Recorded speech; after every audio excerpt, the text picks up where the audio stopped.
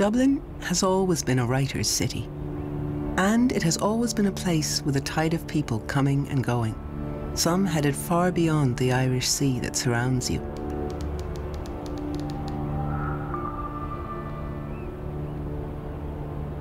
I'm Tana French, and I returned to live in Dublin in 1990.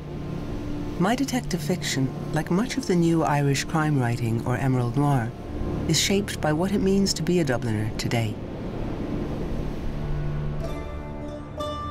If you were driving through Dublin's streets 20 years ago, you'd be witnessing a city awash with money. New houses were built quickly, people's prospects changed overnight. Property developers got rich. When the crash brought all that tumbling down, crime fiction began to explore the darker consequences.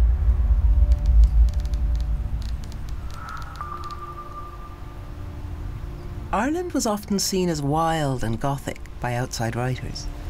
They responded to places such as the Hellfire Club, high in the hills above Dublin, with its mystical tales of the devil playing cards here late at night.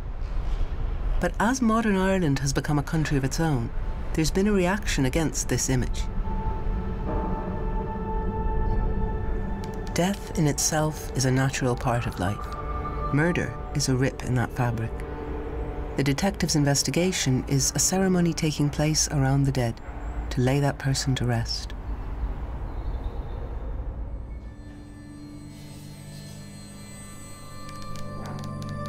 I'm interested in how that affects wider society, from the murderer to the detective and all of those left behind.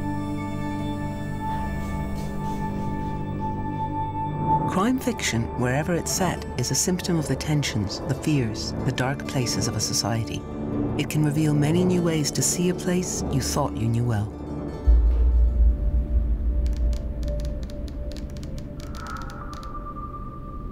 Ireland has such a formidable literary reputation that for a long time people simply didn't write much genre fiction. We have our statues of our gods, of Joyce and Wilde, but over the past few decades there's been a new energy from living writers.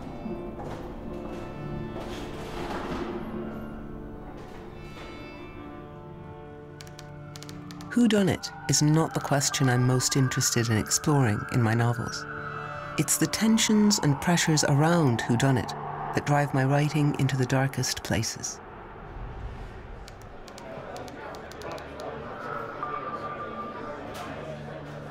Familiarity with your surroundings can prevent you from seeing them clearly. Like a detective, I have a healthy respect for detail. If you were to put your nose up close to that JFK picture on the wall, for example, you'd find out the president had his first pint of Guinness here years before he was shot dead in Texas.